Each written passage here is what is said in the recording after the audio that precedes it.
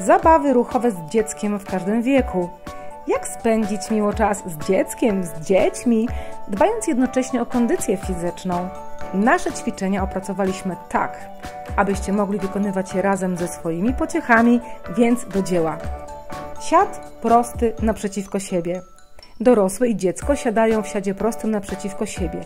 To ćwiczenie wykonujecie w parze. Łączymy stopy, po czym obie strony wykonują skłon, podczas którego przebijają piątki. Właśnie pracujecie nad poprawą sprężystości kręgosłupa. Ważne, aby nogi były proste, starajcie się jak najbardziej pochylić do przodu.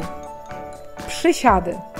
Podczas wspólnego treningu nie może zabraknąć pracy nad sprężystością stawów kolanowych i biodrowych oraz polepszeniem kondycji ruchowej. Nie odrywajcie pięt od podłoża, wasze kolana nie mogą uciekać do środka. Skip A, czyli bieg w miejscu z unoszeniem wysoko kolan. To idealna propozycja na ćwiczenia wzmacniające mięśnie nóg i pośladków. Przy okazji poprawiacie pracę układu krążeniowo-oddechowego. Uwaga, nie odchylamy tułowia.